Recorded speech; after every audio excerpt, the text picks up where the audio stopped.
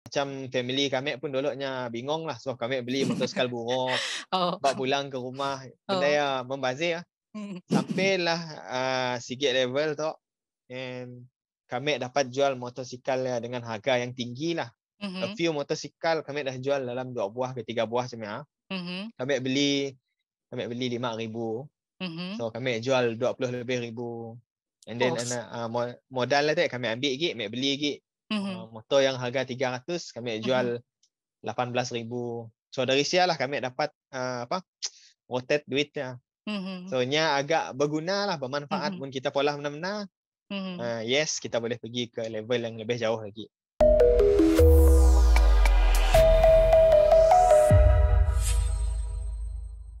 Assalamualaikum dan salam ceria. Anda sedang menonton podcast Tegas and Friends uh, bersama kami Siti.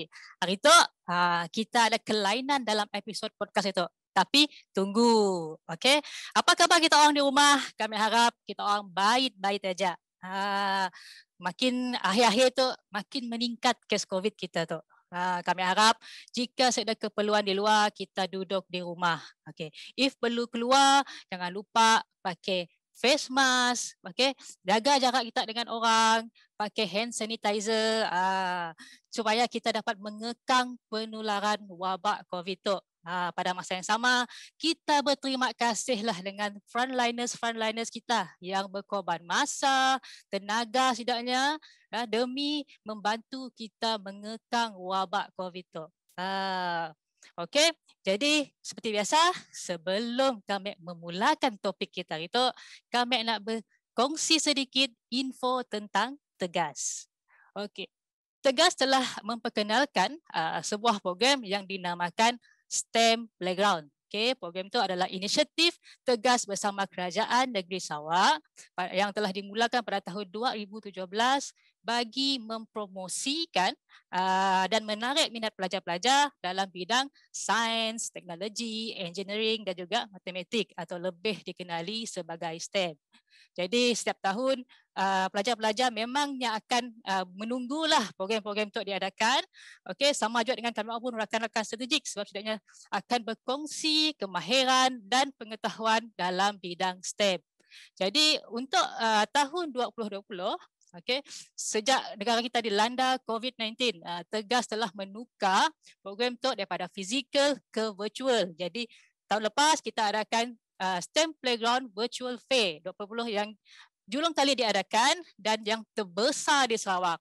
Untuk tahun itu, of course ada dan ada kelainannya. Apa kelainan? Kelainannya Jangan lupa kita follow FB Tegas dan juga laman sesawang tegas.org.my. Okey. Banyaklah mereka tentang tegas tu. Ah, mungkin sebab sedikit kita dah tahu lah tentang apa itu tegas. Jadi hari tu topik kita custom dan vintage. Ah, hari tu kita lain sikit sebelum daripada episod-episod sebelumnya. Okey, hari tu tetamu kami uh, dalam versi Maya.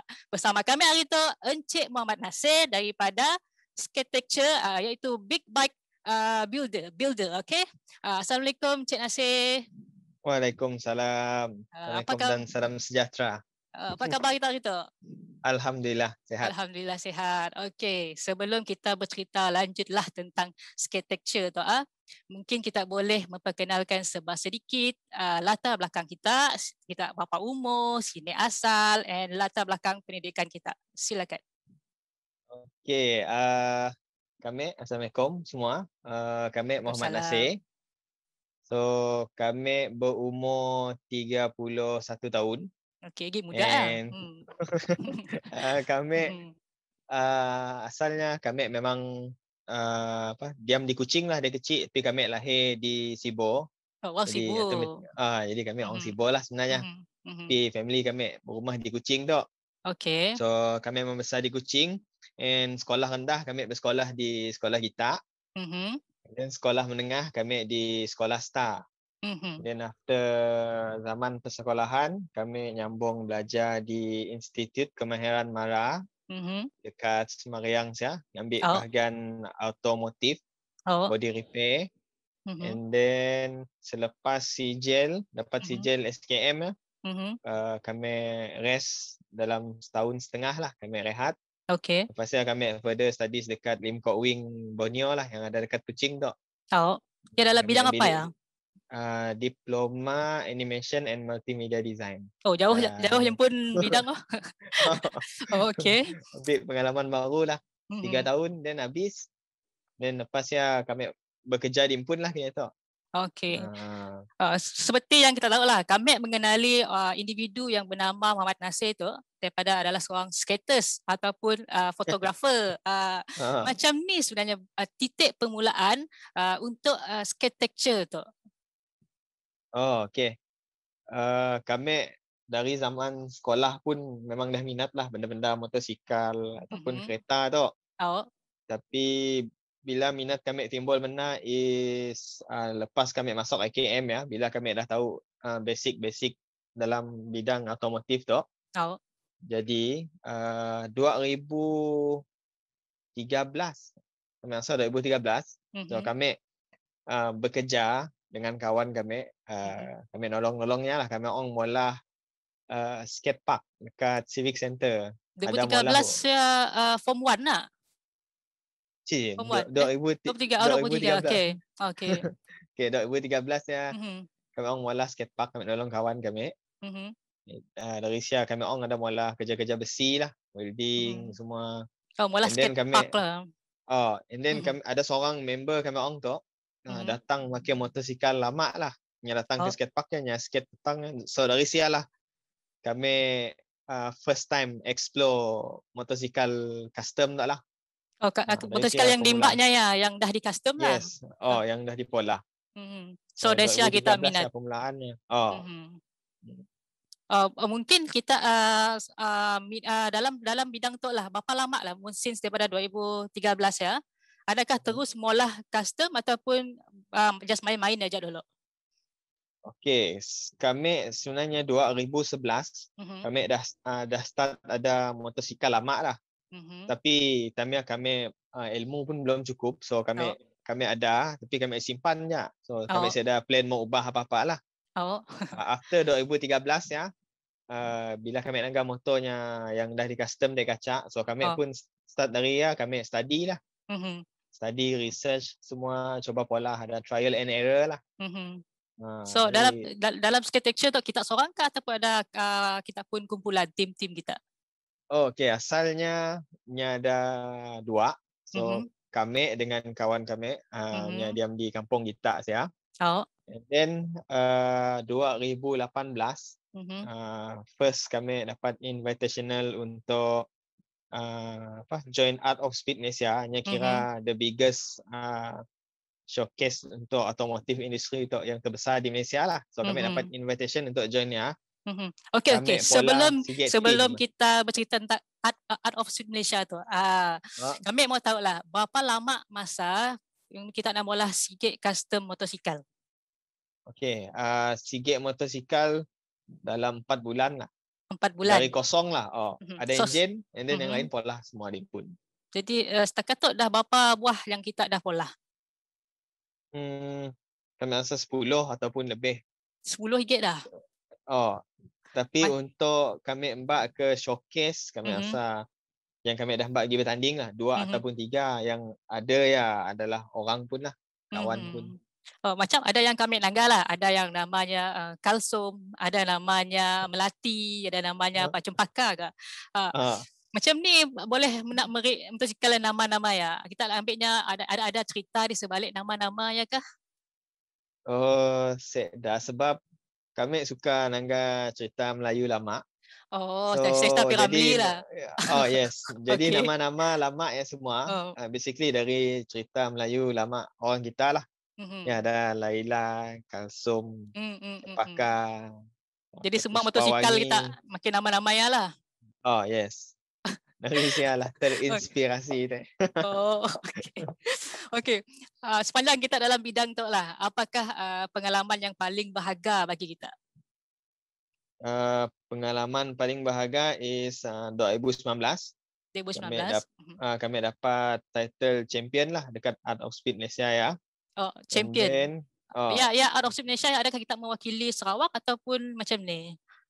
Yang nak madah mewakili Sarawak kan nyesik lah official gila tapi oh. oleh kerana kami the first the first one yang dari Borneo tu untuk okay. join event ya mm-hmm. so kira kami lah orang yang first dari Sarawak and mm-hmm. eventnya pun international juga mm-hmm. so kami dapat first place mm-hmm. and kami uh, bulan Disember 2019 ya kami dapat uh, fully sponsorship lah oleh Art of Speed Malaysia untuk pergi ke Yokohama Hot Rod Custom Show dekat Japan. Oh, dah dah sampai dah ke Japan dah. Oh, dah. Oh, tapi dah kita pergi siap bertanding ataupun apa apa? Just uh, ya, pergi. as a guest sajalah. As a guest. As a guest. Oh, kita mm-hmm. nangga event uh, mm-hmm. and ada pergi bengkel ke bengkel lah. Mm-hmm. Uh, study So dalam dalam kita molah okay dalam Art of Malaysia ya uh, kayak motosikal apa yang dimbak kita untuk bertanding? Okay, the first one kami join 2018 kami mbak Honda CG. Honda CG. Oh, hmm. ataupun mun orang tua kita stok kita madah Honda Belalang setidaknya oh, Honda oh, okay. Honda Belalang okay, betul betul. Hmm. Tahun tujuh tahun tujuh puluh tujuh. Hmm. And then the second one is yang kami menang 2019 ya Honda EX5. Hmm. Ha, tok pun orang tua kita selalu pakai je. Uh, Honda oh, X5 tahun 90-an lah. Hmm. So basically kami suka ambak motosikal yang kecil lah. Hmm. So macam macam kita mula motosikal uh, yang, yang akan kami tanggal lah adalah motosikal yang lama-lama lah, yang vintage kata orang lah. Uh, kena kita milih motosikal yang lama-lama tu. Sebab kita tahu uh, yang motosikal lama-lama tu pun kita tangga kini tu lah susah nak carinya pun parts apa indah. So kena kita memilih motosikal-motosikal lama. Hmm, Ya, sebab kami asalnya kami start main motor tu, kami suka motor lama. Mm-hmm. Jadi kami sebenarnya kami prefer motor lama lah sebab mm-hmm. mungkin kami dah boleh kata familiar dengan sistem motosikal lama tu. Oh. And then bila kita motosikal lama tu nyasik macam motosikal baru lah. Yang oh. masih ada keluar lagi. So motosikal lama tu agak limited lah. Mm-hmm. Uh, sebab yang lama tu nyasik akan keluar lagi. Sikat si, si lari kah sentimental value motosikal lama yang mudah diubah jadi lain? Hanya based on perspektif uh, orang yang nanggai juga. Ada yang oh. suka original. Mm-hmm. So kalau orang gelar orang jenis itu isnya purist lah. Yang simak oh, benda di kacau. Oh. Hmm. Mm-hmm. Uh, macam kami tu uh, sebenarnya both kami ada yang kami asal nak polah kami polah je. Mm-hmm. Tapi kita polah benar-benar lah supaya nya pun final produk ketek bagus. Mm-hmm. Kadang-kadang pun kita mau polahnya original pun saya ada masalahnya. Mm-hmm. So uh, untuk contohlah kita uh, mencipta contohnya melati tu uh, idea asal melati tu uh, dari sini adakah kita duduk brainstorming dengan kawan-kawan kita ataupun uh, dari sini kita dapat idea Okay, idea tu uh, melati tu kami nang dah plan awal. So mm-hmm. motosikal tu ada a few kategori lah mm-hmm. yang ni ada cafe racer, mm-hmm. uh, bobber, chopper. Mm-hmm. Penting macam mana? So kami pilih uh, kategori chopper. Chopper tu adalah uh, yang handle tinggi dekat, lah. Ha, yes. Oh, yang famous dekat US lah. Mm-hmm. Uh, tapi dekat US nya banyak ke sisi besar Harley Davidson. Oh, oh betul. Macam lah. Mm-hmm. So kami pola melati tu nya mm-hmm. sisinya kecil je. 110 sisi je. Tapi oh, kami pola oh. Ah, tapi kami polah macam chopper yang ada di luar lah. Dia kira one seater je lah. Oh, one, oh, one seater. One seater. Oh. Hmm. So, uh, bila kita menceburi bidang tu, ah, of course lah, uh, mungkin ada yang pihak-pihak yang berpuji, ada kena lah, nasi kita mula macam tu, buang duit saja. Uh, macam ni kita nak menepis sindiran-sindiran orang tu, dan apakah prinsip yang memotivasikan kita untuk menerus berkecimpung, untuk terus berkecimpung dalam bidang tu? Okey. Sebenarnya uh, apa? Uh, memang banyaklah orang mm-hmm. uh, tertanya-tanya nak dengan benda oh. tu macam membazir betul. semua. Oh, betul. Uh, sebab kami tu kerana kami memang minat. So mm-hmm. mun jenis kami bila kami main sikit-sikit barang. Mm-hmm. So kami mau push diri kami pergi ke level yang lebih jauh lagi lah mm, supaya mm. set dah sia-sia. So dulu si alang-alang lah kata orang. Ah yes. Ah, hmm. Ah, macam family kami pun dulunya bingung lah sebab kami beli motosikal buruk. oh. Bawa pulang ke rumah. Benda oh. yang membazir lah. Hmm. Sampailah uh, sikit level tu. And kami dapat jual motosikal dengan harga yang tinggi lah. Mm-hmm. A few motosikal kami dah jual dalam dua buah ke tiga buah macam ni. Mm-hmm. Kami beli kami beli lima ribu. Mm-hmm. So kami jual 20 lebih ribu. And then uh, modal lah tu kami ambil gig, kami beli gig. Mm-hmm. Uh, motor yang harga 300 kami jual mm-hmm. 18,000. So dari sial lah kami dapat uh, apa? rotate duitnya. Mm-hmm. So nya agak berguna lah, bermanfaat mm-hmm. pun kita pola mana-mana. Mm-hmm. Uh, yes, kita boleh pergi ke level yang lebih jauh lagi. Mm-hmm. Uh, mungkin uh, kita boleh kongsi lah uh, anggaran bajet guna mula sebuah motosikal custom tu agak-agak berapa kosnya? Okay, uh, nya ada a few stage. Mm-hmm. So untuk motor 150 cc dan ke bawah, mm-hmm. uh, kira kategori cup lah. Uh, oh. Moon uh, showcase level kami lah. Showcase level tu adalah bilanya siap kita boleh mbaknya pergi ke show. Mm-hmm. Maksudnya uh, saya pun, start ke pindah lah. Nasib boleh, boleh, boleh, boleh, boleh, boleh okay. running semua. Mm-hmm. Uh, upahnya uh, mm-hmm. dan kosnya lah kira mm-hmm. kos untuk Seagate build motor yang mencecah 15,000 lah. 15,000.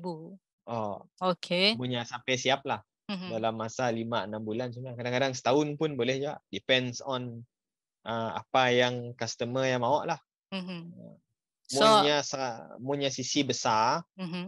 Uh, example macam Harley Davidson. Oh. Ataupun motor-motor sisi besar lainnya boleh mencecah sampai 40,000, 50,000. Uh, macam ya sampai 40,000, 50,000 ada juga bayarnya ke? Ada. Memang ada. Oh. This, Memang uh, di di Senanjung setakat tu mm-hmm. kami Nangga ada yang sanggup berbelanja sampai 100,000 pun ada juga. Untuk motosikal jenis lah. yang custom. Oh. Mm-hmm. Oh. Okey, sepanjang kita dalam bidang tu lah, uh, mungkin kita ada kenangan pahit ke atau cabaran kita uh, dalam menempuh uh, bidang tu, mungkin tak boleh kongsikan sikit? Okay, uh, yang kami rasa uh, apa kenangan pahitnya lah. Oh. Okay, ya. Uh, 2018 first 2018. kami ke Art of Speed Malaysia ya. Kami mm-hmm. ada pengalaman nak pergi bertanding di KL lah. Mm-hmm. So sampai-sampai je dekat uh, KL ya. Oh. Motor kami dihantar pakai mas kargo. Bila oh. Motor yang sampainya ada apa? Nya ada damage lah. Oh. Oh. Ada rosak oleh mas kargo. oh, okey. So banyak juga lah kerosakannya. Jadi kami terpaksa repair kerosakan nanti. Mm-hmm. Uh, di hari uh, sehari sebelum event yang berlangsung lah. Dah ada peralatan-peralatan ya kita nak ngembak lah ke sini. Yes, oh kami orang nak ada peralatan cuma perlu repair balik lah. Mm-hmm. Benda yang rosak kata. Jadi ya sebenarnya jadi pengalaman juga lah untuk kami sebenarnya. Sempat lah kita merepair. Oh sempat. Motor ya sampai nyasimuk hidup. Mm-hmm. Tapi uh, malam ya masa kami orang dah hantar motor dewan. Oh. Kami orang tolak balik motosikal keluar dewan and kami mm-hmm. orang pola uh, top overhaul. top overhaul cabut engine oh. semua buka oh. di luar dewan pakai torchlight aja nak uci habis lah. Oh, pakai torchlight handphone ya. Oh, oh. Pasang balik. So, Alhamdulillah mau hidup. Midnight ya. Esok mm-hmm. tolak balik 6 dewan, lap-lap. Tunggu mm-hmm. untuk esok lah event. So, ya antara oh. kenangan pahit lah. Ya memang last minute pun kerja lah. Saya bagus lah sebenarnya. Nasibnya mau hidup oh. Oh. okay, uh, mungkin uh, okay lah di dalam uh, pandangan kita uh, sebagai uh, architecture tu uh, waktu mm-hmm. tu kita pandemik COVID-19 lah. Hmm. Memang mostly program yang besar-besar macam uh, showcase macam memang memang saya pada pola. So hmm, di pihak kita apa yang dipolah kita pada masa tu lah? Adakah hmm. kita ada alternatif lain? Mungkin kita mula ya join dalam besi maya pun kah? Macam ni. Hmm, kami rasa sidak kini tu dah start nak mula uh, virtual pun uh, program. Mm-hmm. So mungkin mungkin mungkin kas apa peserta boleh uh, showcase daknya pun baik visually lah. Oh. Uh, kami rasa tapi belum mungkin belum dipolah lagi. Daknya hmm. tengah on the way lagi ngatur strategi macam ni sebab Art of Speed tu uh, yang kami tahu nya in uh, ada invitational judges lah. Ada sembilan oh, orang. Oh. orang. Oh. Jadi agak susah sebenarnya. Sebab event tu besar. Mm-hmm. Mun nak molah sebaiknya nya kira macam perlu ada event lah Mm-hmm. Bukan mm-hmm. virtually lah sebenarnya. Oh. Uh, so judges yang saya tengah Judges yang dari sini uh, dalam Malaysia aja ke ataupun yang memang uh, level antarabangsa pun judges lah? Nya untuk Arab nya pun judges yang memang dari luar semualah. Dari Australia, luar mm-hmm. oh, New Zealand, mm-hmm. ada US juga. Mm-hmm. Indonesia hmm. uh, and oh, Malaysia ada juga lah. Hmm. Tapi yang decide ya adalah sembilan orang yang dari luar. Masa. Ini ada ada banyak lah invitational oh. guest yang untuk oh. judge uh, hasil kerja dekat event lah. Sel- selalunya yang dinilai ya dari segi apa ke? Hmm, dari segi uh, finishing produk mm-hmm. yang kita pola itu, mm-hmm. uh, functionality, of course mm-hmm. yang mesti berfungsi lah. Mm-hmm. Uh, pasal dari keseluruhan uh, konsep motosikal itu. Okay. Sisi kecil besar naknya si kisah lah. Mm-hmm. Yang penting kreativiti sebenarnya. Oh yang pun seni ya lah. Ah yes seni. Okay. Yang nyamuk tangga. Macam kita molah uh, motosikal tu lah daripada motosikal A dan motosikal B digabung dan jadikan uh, sebuah motif motosikal lain. So yang merupakan hmm. satu inovasi lah dalam bidang pemotoran hmm. tu lah. So hmm. bagi kita uh, sejauh ni bidang custom tu terutamanya di negeri kita di Sarawak tu. Di Sarawak kini tu nya dah um, makin makin well known lah sebab kami hmm. nangga bukan kami seorang aja. Hmm. Kini tu dah start banyak lagi yang berbakat ambil tangga. Hmm. Cuma adanya mungkin adanya belum belum uh, selalu join event-event showcase macam tu. Oh. oh. Orang kita di Sarawak memang memang banyak bakat lah sebenarnya. Kami kan beli belia-belia yang molah custom tu di Sarawak. Uh, kami rasa banyak lah. Banyak oh. Oh, kami rasa ada 100 orang kali yang yang memang pandai-pandai molah diimpun di rumah. Mm-hmm. Adanya pun kami rasa boleh pergi jauh juga lah. Hmm. Uh, Kinetok pun dah start uh, tidak boleh tangga minyak kita di Kuching tu. Dah banyak lah main motor-motor custom tu. Oh. Ah, dari kecil-kecil pula dah ada je molah-molah motor-motor. hmm. So uh, apakah harapan kita uh, terutamanya dalam bidang custom pemotoran tu lah especially di Sarawak tu pada 20 hingga 30 tahun akan datang. Okay, kami kami harap uh, kita pun uh, di Sarawak tu hmm. ada inisiatif lah untuk mula uh, program-program besar untuk uh, culture custom custom tu. Hmm. Sebab di Sarawak tu kami nangga nya pun uh, nya pun event-event besar macam di Semenanjung yang ada Art of Speed nak sebab oh. eventnya nya dah pergi ke level international. Oh. Yang pun founder pun orang orang Malaysia aja pun. Orang Malaysia Tapi nya boleh oh. pergi ke nya, nya boleh pergi ke level luar lah. Mm-hmm. So kami harap Sarawak ada juga macam ya mm-hmm. yang sanggup mula event macam ya and ada organisasi yang mau uh, apa uh, nolong dari segi kewangan lah. ke. Uh-huh. Ah yes menganjur, menganjur mm-hmm. event-event besar macam tu supaya mm-hmm. menghasilkan apa bakat baru lagi yang berkualiti je lah. Boleh mm-hmm. compete pergi luar lagi. Mm-hmm. So, okay. Sebelum kita mengakhiri sesi podcast kita itulah, mungkin kita ada sepatah dua kata yang ingin kita sampaikan dengan belia-belia di luar ya. Okay. Bagi yang ingin menceburi bidang custom dan vintage pemotoran tu. Ha, silakan. Okay, dalam dalam kategori mualah motosikal custom, hmm. uh, vintage tu, uh, kegagalannya memang banyak. Uh, oh. Tapi jangan jangan sesekali uh, apa terus uh, mengalah lah. Oh. And kita perlu teguh dengan pendirian di Impun juga. Mm-hmm. Banyakkan study, jangan malu, jangan malu bertanya sebab kami dulu pun uh, apa banyak bertanya aja. Bak mm-hmm. muka tebal, pergi bengkel-bengkel orang tanya oh, sini nak olah motor. Mm-hmm. And jangan jangan tinggal ke diri lah. Nak pergi jauh mesti confident memang tinggi lah. Benda selalunya orang Sarawak tu hingga ya memang siapa lari lah. oh. Okey, terima kasih sekali lagi kami ucapkan kepada Encik Nasir di atas uh, kesudian kita meluangkan masa bersama-sama kami hari itu. Okey. Okey semua. Ha, macam ni uh, rasa kita ingin nak menceburi bidang custom. Uh, Okey, sama-sama kita uh, menonton uh, podcast tu di episod seterusnya pada waktu dan hari yang sama. Dan jumpa lagi di episod seterusnya. Bye-bye. Assalamualaikum.